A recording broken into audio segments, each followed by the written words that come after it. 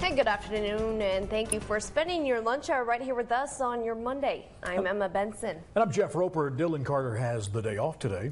Well, it's Monday, June 13th, though today certainly does not feel like June, Jeff. Normally, we would have lots of sun, calm winds, and about 75 degrees, but flooding and mudslides have changed our news today. They have closed down Yellowstone National Park. Just in the last hour, Yellowstone has closed all its entrances into the park as heavy rain is damaging roads and bridges.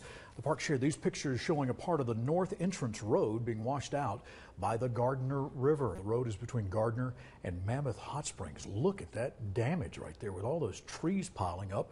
And obviously, uh, we've got multiple sections of the road that have been washed out between Gardiner and Cooke City. The road falling apart there on your screen. Uh, portions of Montana, uh, Cooke City, Montana, and multiple bridges affected by this. Visitors in the northern portion of the park are being evacuated.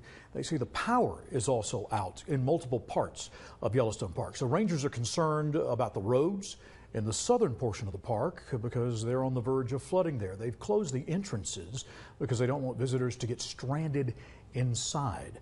And so we can show you the uh, West Yellowstone entrance. They're warning it could be a while before they reopen. So if you're planning on going to Yellowstone Park this week, you're going to have to make, see, they're turning people around here and you can see the, the uh, police lights there toward the end of the, uh, of, the, of the road. You may want to make other plans if you're planning on going there. We're going to keep you updated on conditions there, but uh, the rain and the wind today are the big story, Emma. Yeah, for sure. And heavy rains is also causing concern in the Island Park area. Fremont County Emergency Management have provided sand and sandbags at the Shotgun Bar for those experiencing flooding. There is no charge for the sandbags.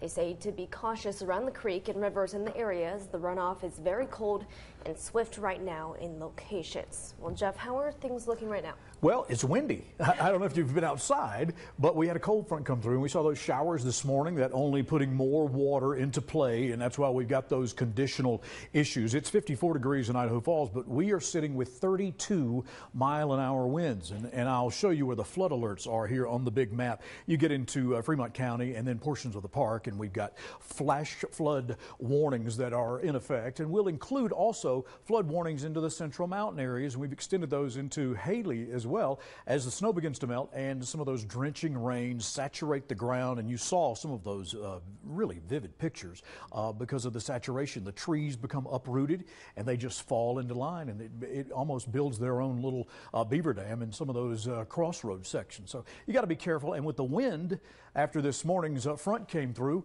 uh, loose objects and debris. I'll go ahead and tell you right now, car doors are another hazard. they will hit you in the meniscus and make a believer out of you. We've had a 45 mile an hour gust into Idaho Falls in the last hour. We're seeing gusts of upwards of 30 and 21 mile an hour gust into Island Park as we clear things out and get situated for a sunny afternoon, but we've got a lot of weather uh, and weather effects to be concerned with from flooding and winds and some bright sunshine to boot. Things are going to be a lot cooler around here, so we're going to talk about frost and some snow possibly coming up in your first alert forecast. Wind advisories remain in effect for that teal area on your screen until about 9 o'clock tonight. Emma?